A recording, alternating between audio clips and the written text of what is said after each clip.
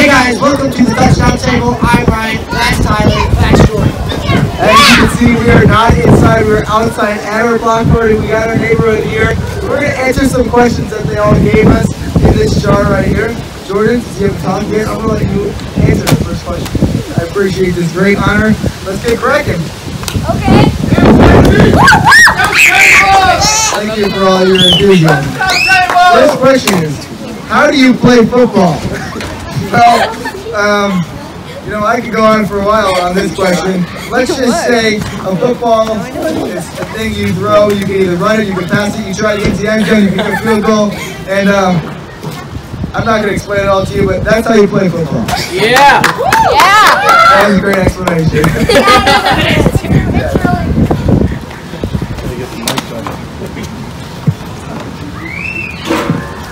Waiting for the next question. What does it mean when they say first down? Well, when they say first down, that means that you have got, well, you got four downs in football, and the first down is the first one. You got four chances to get 10 yards to convert to get a new set of downs. So when it's first down, that means it's your first set of those chances. Great explanation, Ryan. Yeah, right. So far, these have been pretty uh, simple football questions, but you know, let's get on with that. All right, let's see what we got next. Did the Saints get robbed by the refs? I think we should all answer. Yeah, we should all answer this. This is a great question. Um, no, that should not have been a penalty, but Drew Brees and the Saints had a chance to score in overtime at the end of the game. We just said no, that should not have been a penalty. No, that should that should have been a penalty. I'm saying they didn't get robbed because they had a chance to score in overtime but could not capitalize on it. Bad call by the refs. It happens all the time. Yeah, these referees are human, but the real thing is the Saints had the ball in overtime and had a chance to drive down the field and win. So, no, they did not get robbed. And yes, it did hurt their chances. They had the ball in overtime and they couldn't get it done.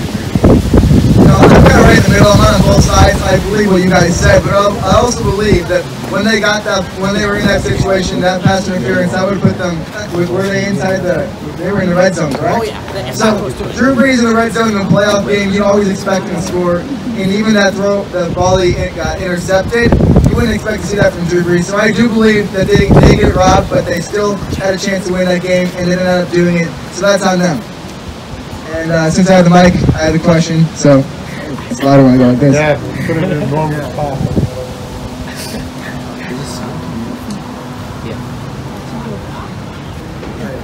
I don't even know what this one says. Can we be on something? Can we be on YouTube? Well, if you're standing behind us right now, you will be. So yeah.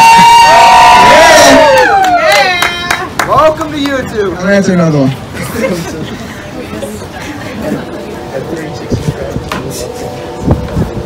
I like this question. This is our first real, uh, besides that last one, but this is a good question. Should Kyle Allen start over Cam Newton? So a little bit of background. Cam Newton got injured in the season. He was playing really bad. Was it a foot injury, I believe? whatever it was, but um, Cam Newton he is, was out and he's still going to be out for a few weeks. So backup quarterback Kyle Allen came in. He's three and zero this year, has not lost a game, and he's playing great. That team is looking great. And first of all, I'm a little biased on this one because I am not a fan of Cam Newton. I never have been. So I'm sorry for the Panthers fans, if any. But I do believe that Kyle Allen should start. He's been playing great. That team has really rallied around him. And it's not, of course, all of him. They have Christian McCaffrey, one of the greatest running backs in the NFL, possibly as Saquon Barkley is hitting the greatest playing at this time. So I believe that Kyle Allen, Kyle Allen should continue to start over Cam Newton. Hey. Agreed. Thank, you. Why is Mitch Trubisky struggling? No, no, no, no, no. That's not what it says.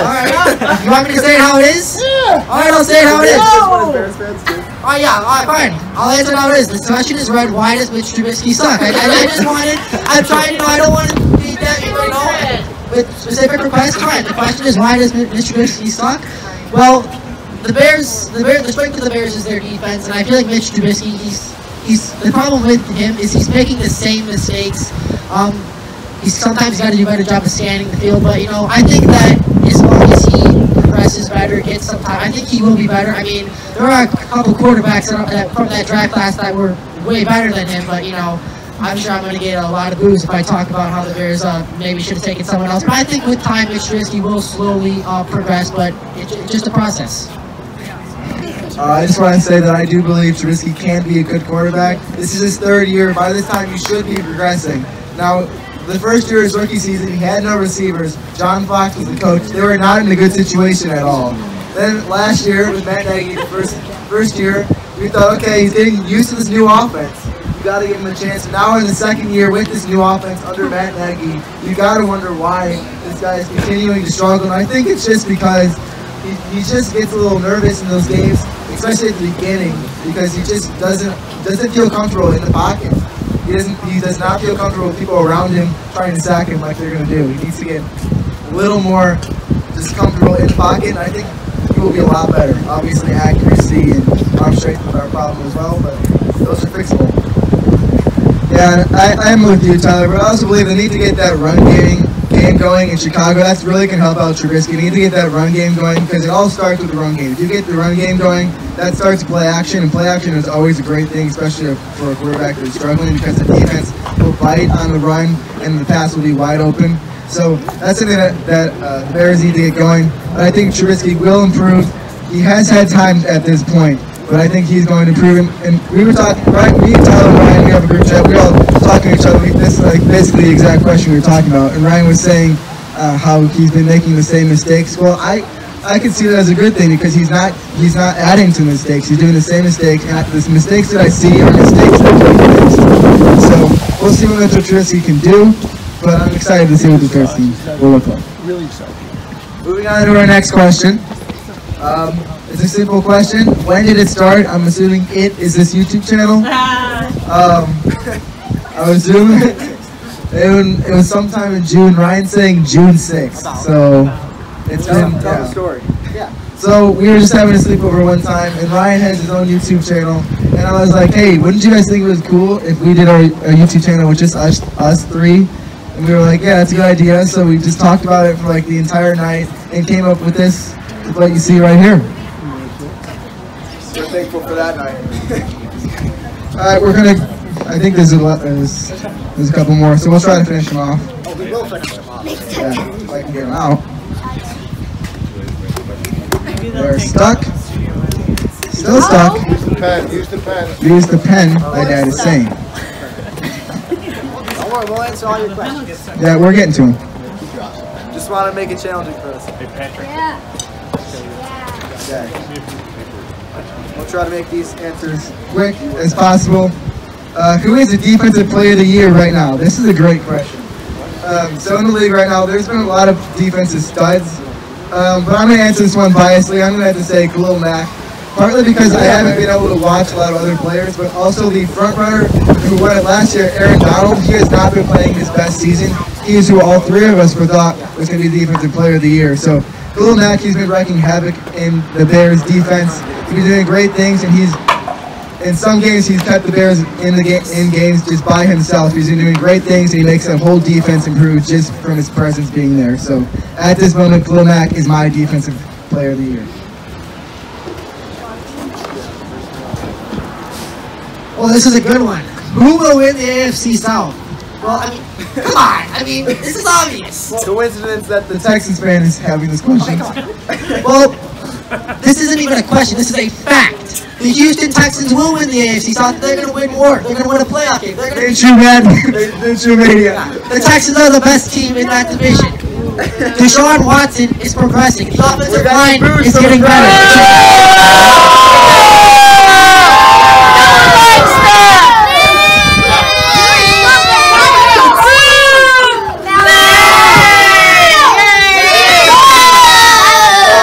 Okay. Yeah. Let's hear. Kind of know your reasoning. Yeah, so my reasoning for why the Texans will win the AFC South, okay? Deshaun Watson is getting better. He got sacked zero times last week, and people have been asking, Deshaun Watson is good, but how good is he when he has protection? Well, go watch those highlights from that Texans Falcons game last week. That is Deshaun Watson with protection. Deshaun Watson that can be a top five quarterback in the league. Deshaun Watson that can find his receivers, Hopkins and Fuller, and even get the tight ends involved in the game. This is taking a while because there's a lot of reasons that the Texans are going to win the AFC South. The defense is good. We got J.J. Watt, Whitney Mercilus. The Texans are going to win the AFC South and maybe go even further in the playoffs.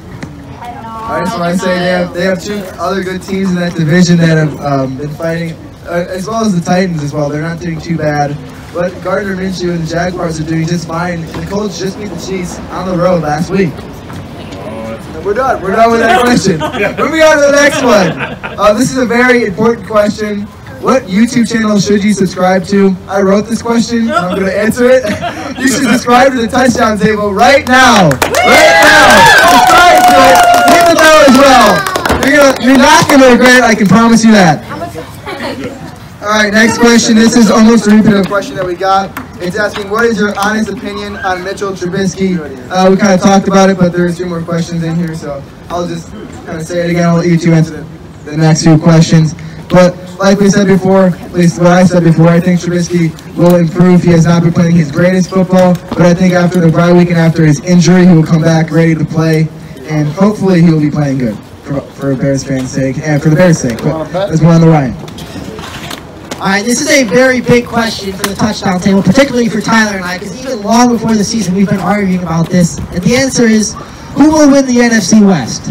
Or the question is, who will win the NFC West? All right. So, the answer to that question is the Los Angeles Rams. And yes, I know they're coming off back-to-back losses, but yes, I know Todd Gurley's hurt, but really, I think the Rams are truly the best team in that division. I said they were going to win the NFC West. I didn't say they faced any adversity. You look, that Seahawks game, they were right there. After that interception, they got the defensive stop. They got themselves into a position where nine and a half times out of ten, Greg Zuerlein makes that kick and they win. In the Buccaneers game, before that, I think that was just a trap game for them. So I think the Rams are the best team in this division. Jared Goff is going to continue to get better. And yes, Todd Gurley is hurt, but remember, the Rams' Super Bowl run was without Todd Gurley. So really, I think the Rams have one of the best offensive units in the league. The offensive line is good. The receiving corps is good. Robert Woods is one of the most underrated receivers in the game. You got the, the best defensive player in the game, training uh, top person in the as the players that are. And to the NFC West. And I think the Rams are really poised to go far in January. The Rams are the best team in this division, but someone else thinks something otherwise. I do think otherwise. I think the Seattle Seahawks are going to win this division. You guys have applause for Yeah, we got some applause. Thank you guys. Thank you. Uh, I'm gonna give a little bit of explanation um, as to why the Rams won't win. First of all, you can say yes, they have a good roster on paper. You named a lot of their players, but I feel like they got to show down the field a little bit more, especially in that Buccaneers game. Their offense was rolling, but the defense was not doing it much at all. Both these sides of the ball got to do that at the same time. They have not been doing that. The Seahawks have been doing that. Right now, Russell Wilson is the MVP of this league. I'm gonna say that right now. Going into week six, he's the MVP. He has great receivers: Tyler Lockett, DK Metcalf. Uh, their offense is rolling, and of course, the running backs are starting to pick it up as well. And defensively, con- con- continuing to improve every week. So we have one more question now. that I'm going to be answered. Oh, well, we have two more questions now. I'm going to answer the first one. Uh, who will win the NFC North? Uh, well, we're in Chicago right now. I feel like I have to say Chicago Bears. Yes. I have to say it. Yeah, thank you, thank you. I do want to, say. I do want to say though. I, I do want to say it's going to be very tough. They're in one of the toughest divisions. They're one of the toughest divisions in football. The Vikings have been a very good team, and the Packers, who are currently winning this division, have been rolling on defense. Offensively, they're improving as well. Don't forget about those Lions as well. Uh, other than that week one game against the Cardinals, they've been looking really good. So it's going to be tough. This division's going to be close the entire year. My opinion, the best division in football. We got one more question, and this one is for the fans here. The question is, are you signing autographs today? And the answer is, if you want us to, we will. So, Um, Maybe you can keep your room for when we get famous. You can say, hey, I knew him. I got his autograph. And, you know, it, it would be a great time. Hopefully, that would be something that would happen. I don't know if it would. That's a hope, though. So we will be signing autographs if you would like it after the show. Uh, who wants to finish off? Well, that's all the questions that we have. Uh, I just want to say thank you to all of you guys for being here. Uh, thank you guys for watching this video. And I just want to say make sure to like the video, subscribe, and hit that notification bell as well. Comment down below. Don't forget about that either. A lot of things you can do with this channel, but just do them all, please. All right, thanks again for watching this video, and we'll see you guys later.